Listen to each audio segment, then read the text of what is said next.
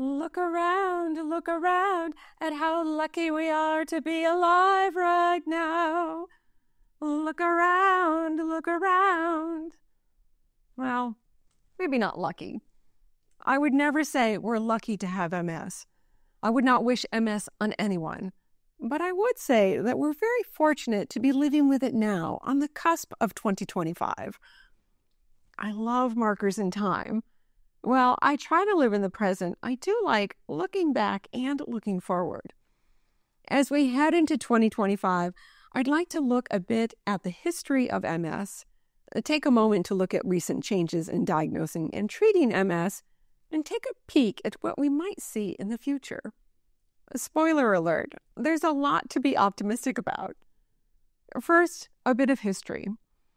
People have been showing signs of a disease that could be MS as early as the 1300s, but it wasn't until 1868 that Jean Martin Charcot gave a lecture on the features of MS and gave it a name. Charcot has often been called the father of modern neurology, and he inspired Sigmund Freud. There were some early attempts at treating MS symptoms with things like arsenic and mercury and the injection of malaria parasites. Fast forward to 1951, when steroids were first used to help people with MS when they had relapses.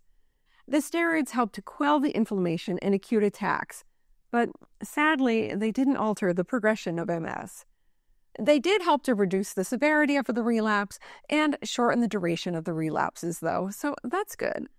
Steroids are still used today to help during a relapse to relieve symptoms and to help us get past our relapses faster. The first treatment specifically for MS was approved by the FDA, the Food and Drug Administration in the US, in 1993. Yes, 1993. I know, it seems crazy to me too that the first drugs to treat MS only came on the market just over 30 years ago. Diagnosing MS has also changed. Early on, it was strictly looking at symptoms. In the 1960s, there was the Schumacher criteria, which required two or more central nervous system abnormalities separated by time and space. People would need to have documented the relapse symptoms with a doctor. In 1983, the Poser criteria added evoke potentials and spinal fluid analysis. Evoke potentials are when they measure how long it takes the brain to respond to sensory stimuli. They attach sensors to the scalp and they test the speed of the nerves, when our nerves or our myelin are damaged or scarred, it could take longer for the signals to get through. And the spinal fluid analysis looks for specific proteins and antibodies that can indicate the possible presence of MS, particularly the presence of oligoclonal bands. These are bands of immunoglobulins that appear when the person's spinal fluid is analyzed. They are produced by B lymphocytes and indicate ongoing inflammation in the central nervous system. In 1984, MRIs became available to help diagnose MS. Again, it wasn't that long ago. I am amazed at how fast things have changed in our lifetimes. MRIs are magnetic resonance imaging systems. It's an imaging technique that uses radio waves and a large magnet to create detailed images of the inside of our bodies. This allows the doctors to see abnormalities in our tissues. In 2000, the McDonald criteria emphasized the importance of MRI evidence in establishing the MS diagnosis. The McDonald criteria has been revised a few times since then, with the latest revision happening just this year in 2024. The latest update includes specifications on lesions, because MS lesions look different than other brain lesions.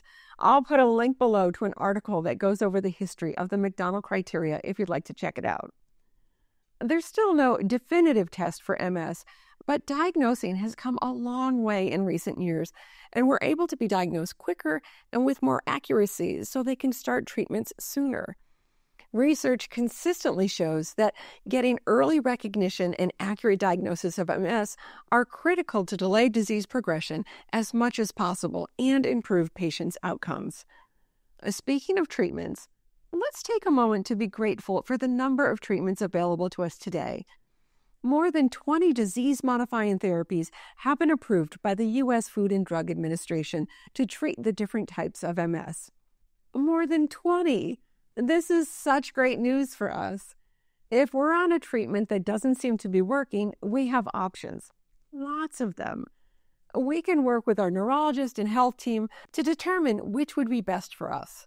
Remember, just over 30 years ago, there were no treatments. There's also great news in other ways of treating and managing MS. Have you heard of neuroplasticity?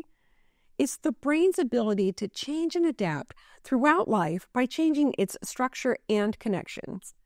There are several things that affect neuroplasticity, such as exercise, diet, and sleep. Rehabilitation of motor function is a major component of MS management that is supported by neuroplasticity, i.e., the brain's ability to adapt to MS damage or disability. How freaking cool is that? It really wasn't that long ago that we thought the brain was static, and once the damage was done, that was it. The damage was permanent. In recent years, there have been more and more studies and papers reporting on neuroplasticity and how it can help people with MS. In this review, they state it is clear that physical activity in MS has a positive influence, and it has become increasingly clear that physical activity has a major effect on brain reorganization as well. And neuroplasticity is the ability of the brain to modify itself at a structural and functional level. Our brains can change and improve based on lifestyle modifications. There are things that we can do to improve. There are many physical therapists that specialize in MS that are showing great results for people with MS, and part of that's neuroplasticity.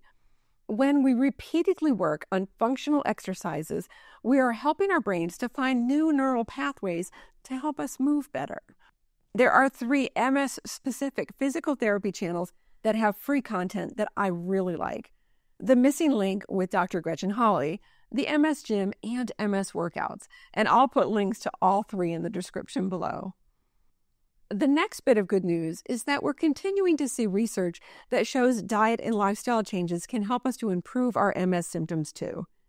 Eating a more whole food plant based diet is consistently showing that it improves two of our most troubling symptoms fatigue and cog fog, both of which are cited as leading reasons that people with MS leave the workforce. Observational studies are showing it helps with overall quality of life too, and I'll link some of these studies and papers below if you'd like to check them out. Exercising as we're able, getting good sleep, and practicing mindfulness also help to manage our symptoms. I can tell you from my experience, it's true. I'm 18 plus years into my journey with MS and I'm still doing well. There's also great news when it comes to possible new treatments. Did you know that it takes an average of 10 to 15 years to develop and gain approval for a new drug? But there are so many that are in phase two and phase three trials in the UK and US right now. Look at all these drugs that are in development right now. They include drugs for relapsing remitting MS, secondary progressive MS, primary progressive MS, and even some on remyelination. More on that later. There are a couple that I'd like to highlight. The Octopus trial is a multi site, multi arm study assessing alpha lipoic acid and metformin in patients with progressive multiple sclerosis. And it was reported at ECTRIMS, a large conference about MS, in September that it's progressing well. There's also the BTK inhibitors trial that's now in phase three. There are some mixed results, but there are ongoing trials that they may become an option for those with progressive forms of MS. There's also some exciting research going on around remyelination, which could be a game changer when it comes to treating relapses. There's a new drug called PIPE 307 that targets an elusive receptor on certain cells in the brain that prompts them to mature into myelin producing oligodendrocytes. Once the receptor is blocked, the oligodendrocytes spring into action, wrapping themselves around the axons and forming new myelin sheaths. That would be amazing. They've been working on this for 10 years, and it recently passed phase one trials and is currently in phase two trials on humans. Living with MS is hard. It is freaking hard. But I've always been a glasses half full and refillable kind of girl. There's always hope. There are amazing treatments. There's more coming. And there are things that we can do to help ourselves live well with it. As we come to the close of 2024, I'm excited to see what the future brings. What do you think? Is there reason to be hopeful? Let me know in the comments below. Thanks so much for watching. To see more on how to live well with MS, watch these videos next. If you'd like more information from me, including recipes on whole food plant based meals, be sure to sign up for my newsletter using the link below. Until next time, be well.